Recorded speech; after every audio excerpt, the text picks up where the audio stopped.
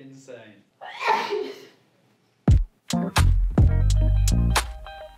Wood grain reproductions. So this is your cost-effective alternative to either veneer or solid wood. So let's have a look at those three whiter, uh, lighter wood grains. So in here, you've got the really white, what's it called? Tron? Tron, Trondheim? Trondheim? They really challenge us, don't they, with these names? I feel like it almost looks like it's been painted over because they do, the knots and the cracks look really faint and like really distant. really like it actually. Yeah, uh, and then you've got the white fine line. Um, again, that's quite a linear ST19 texture, contemporary. Sleek and satisfying, that's what I want. Yeah, sleek and satisfying, love it. So I'm gonna move this one over. Uh, and then this is the Sevilla Ash. This is one of my favorite of the lighter wood grains. The ST19 texture really, really adds and finishes off this lovely decor. So let's move on to the grayer wood tones, uh, which will start with the grey beige spree oak which is this one just here. Very characterful, you've got knots and cracks, quite similar to the sort of the Vicenza, the grey Vicenza oak, but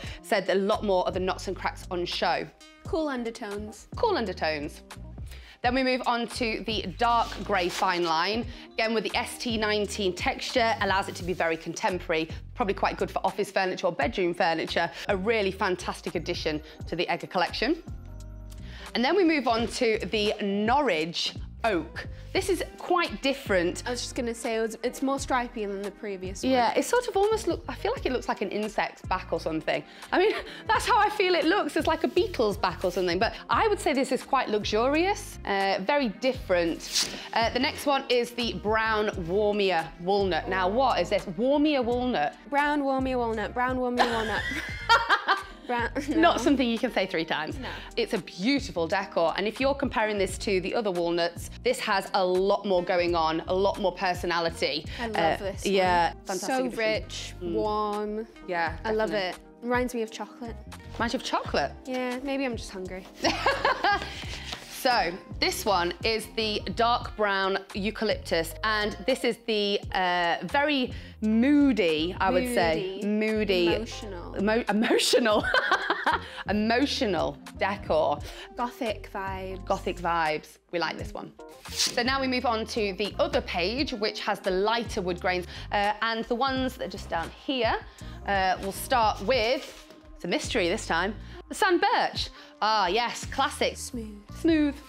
Natural Sheffield acacia. Acacia? Acacia?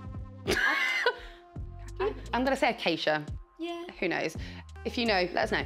Um, massive timeless classic. If you're looking for a versatile decor, this is the one, but still got a modern edge to it. Classic. And that's the ST10 decor actually, so that's a slightly smoother decor as well. This is fun, it's like finding out what's gonna come up. Uh, Vicenza Oak, or Vicenza Oak, depends how you pronounce it. Again, This, need some help. yeah, another classic, similar to the last. It's a little bit more subtler, not so many sort of grainy knotties. So if you're looking for something slightly more subtler, this is the one option to go for. Vicenza Oak. Oh, we're onto a wild one.